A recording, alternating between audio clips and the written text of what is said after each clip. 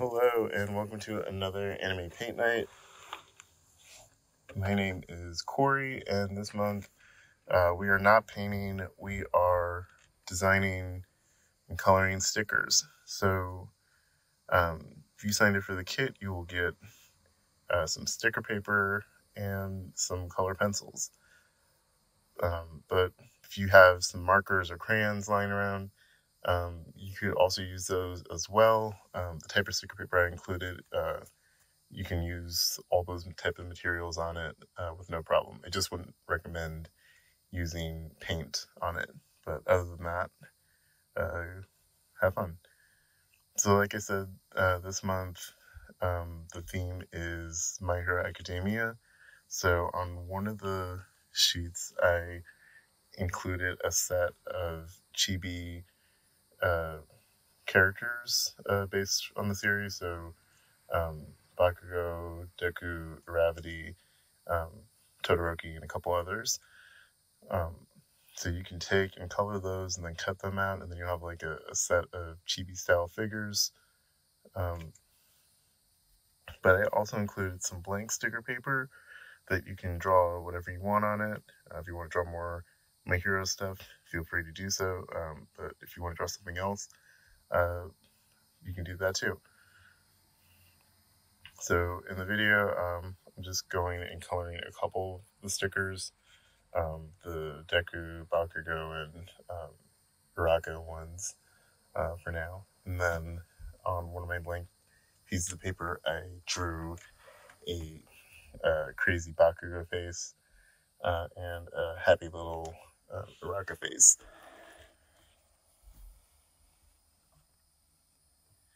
So uh, with the, the sticker paper, um, it is um, it's pretty durable, but it's not waterproof.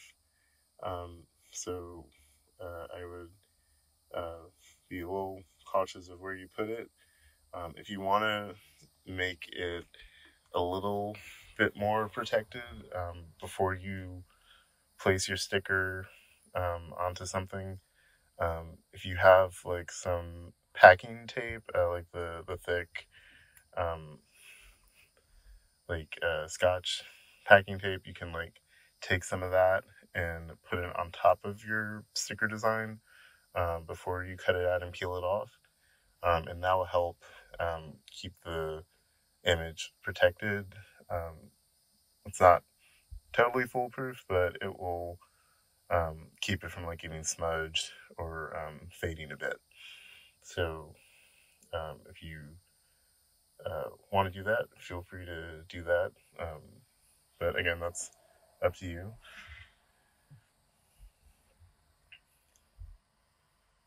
Um, yeah, this is going to be one of the shorter ones, so uh,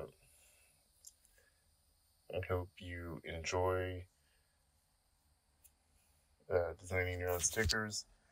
Um, if you have any like recommendations for like um, different anime that we should base some crafts off of in the future, uh, let me know. I'm always trying to do uh, different ones. Um, this is the second time I did My Hero because um, I each time I've done it, uh, usually only did like one character. So like um, we did, uh, I think like two years ago we did Deku, and then last year we did uh, Uravity. Um, but yeah, so uh, this time we did like a whole bunch of them because uh, we had the little chibi uh, images. But if you have any recommendations for like a series uh, or character that you would like to see, uh, let me know. Um, so uh, you can also check out future upcoming program on our website, suffolkpubliclibrary.com. Um, like going up onto the calendar, you can also register for upcoming programs and events like future anime paint nights. Uh, so anime paint night is usually once a month. So uh, be on the lookout for that. Um, you can also check out some of the past episodes if you haven't seen them.